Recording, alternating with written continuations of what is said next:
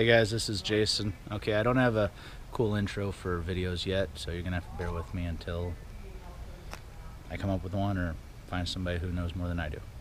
With that being said, I wanted to introduce you to my new car. Got it about a month and a half ago, and I'm gonna take you guys on a journey of building it. I know a lot of people have a lot of friends that have high horsepower builds, but uh, having 20, 30, 40 grand to sink into a car is just not uh, feasible to some people, me being one of them. So I want to kind of take you guys on this journey and have you see what I'm going to go through to make this a reliable daily driver that you can take onto the track and hopefully dominate. My goal for this, and we're going to have some fun. So let me show you what I got here. So first things first, we got a Subaru STI. Let me angle the camera a little bit. Got a Subaru STI. It is a 2004. It's not the prettiest, but it is definitely not that bad at all. You can see, uh, haven't really done anything since I got it in the last two months. I've been prepping. We do have some paint chips right here, some uh, nicks and dings, but overall, it's a pretty good car. So we still have the GoPro mount on. Um, the biggest thing that I want to look at getting fixed uh, is these rims. If you see, uh, they used to be pink. You can kind of see down in the back here. Um, well, the people who I bought it from, which you'll learn more about later, uh, thought it'd be a good idea to take off all the pink. Thought it'd sell better. I definitely want to get either new ones of these or I want to get some paint and repaint them. Uh, definitely some dinged up parts on the front bumper. This is fading. Got some more chips here. Um, yesterday, like I said, we did go to the Ridge uh, Motorsports Park. They were absolutely phenomenal uh, what was that Tuesday? So Monday I took this into my detailer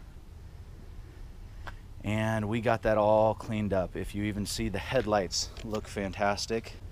Now they're really bright. We do have some bugs on there, but you know that's what happens when you drive you know three 400 miles in a single day the worst of the rims is the front driver's side and as I was telling you they were pink you can still see some pink down there um, the problem is when they went to clean them, they thought it'd be a really good idea to take off the pink Plastidip with airplane cleaner, and that really screwed up the Brembos along with the along with the rims.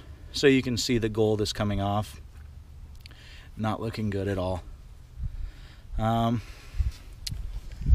so yeah, that's going to be one of the things visually I want to get fixed. Uh, but overall, it's good after the detail, you know, it really brings out some of the places that have problems. But overall, this is a absolutely beautiful car. Um, the other big markup is on the back wing here.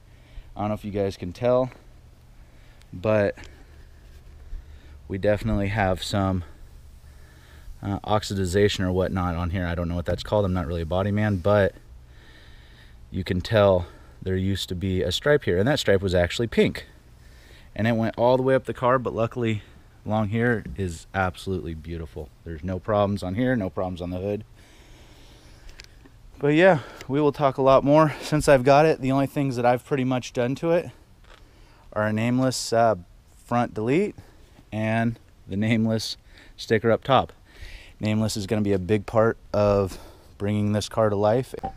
So on our journey if you guys have any questions feel free to ask feel free to message me. Uh, you can tell. Went to the track yesterday and it did get a little bit used. We're gonna need some new tires. But that's my journey, guys. I hope you come along with me and we're gonna have some fun. I don't know uh, what all we're gonna do this exactly, but over the next uh, three months, we are gonna build this. In 2017, we are gonna hit probably about uh, eight to 10 track days and about 20 different car events uh, all over the Northwest. um, yeah, I don't know. I'm excited. Hope you guys are too. And please remember to hit the subscribe and or the like button.